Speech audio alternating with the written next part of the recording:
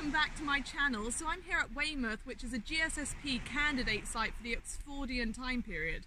Now GSSP stands for Global Stratotype Section and Point, and it's a specific location that represents a boundary in geological time.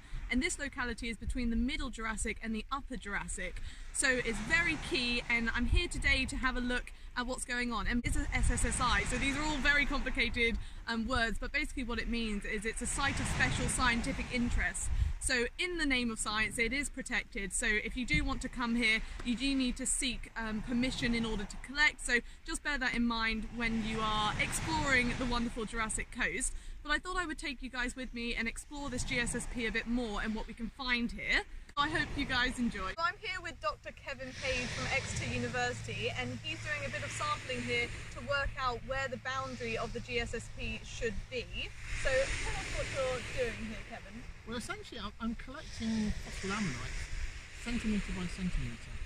Because the whole point about the GSSP, a global stratotype, it has to be the most complete record of a time boundary on the planet. So what I'm doing is collecting very, very carefully. So I'm building up the record from here. And I've got something like, altogether we must have something getting on for 4,000 sample points over about 10 metres of rock. We're looking at the fossils, looking at the chemistry, even looking at the, the sort of orientation of the Earth's magnetic pole at the time. But this isn't the only site this is being done. There's a group uh, who are recording a, a similar site in southeast France and there's another site on the banks of the Volga River in Russia where people are also studying. So what we're trying to find is the best site on the planet for defining this time division. And we're getting a big international team together and we're going to have debates and things and discuss which is really the best site in the world. Oh, brilliant. So a bit of a competition between countries. A bit of competition, to but, find the best but, but also with it. colla collaboration. It's an important thing because at the end of the day, this is this is a, a scientific designation. This mm -hmm. is about the building blocks of geological time. So the world has to agree. So we have to work together and work out what is the best from the scientific point of view and Definitely. put the flags to one side.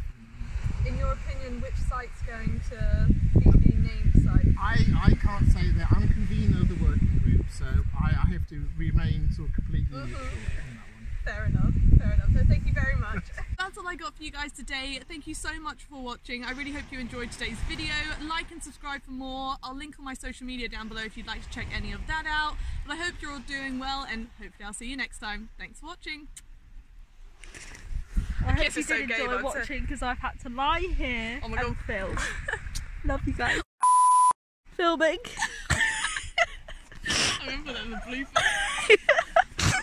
I just snapped. Can you...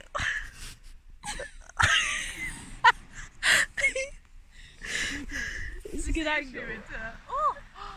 Oh, oh, set lighting, action. Okay.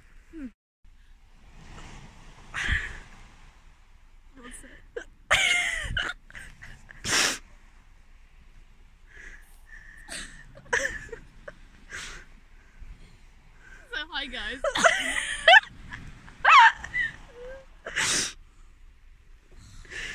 Shout out to my camera woman who, uh, as you can see, is risking all to film my video for you guys. It might look comfortable, but it's, you, it not. I'm going to be honest, Jodie, it doesn't look comfortable. so, big thank you to Jodie